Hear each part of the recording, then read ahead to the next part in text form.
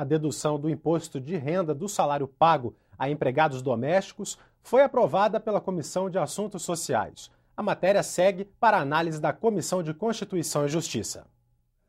Pelo projeto aprovado, a dedução no imposto de renda fica limitada a um empregado doméstico e até o valor de três salários mínimos por mês.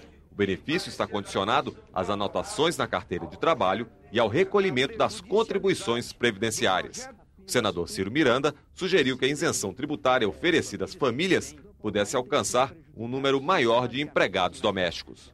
O porquê de um, apenas um empregado doméstico? Veja, é, nós estamos limitando e com isso nós estamos facilitando a evasão, às vezes, do registro em carteira. Porque esse é o grande estímulo.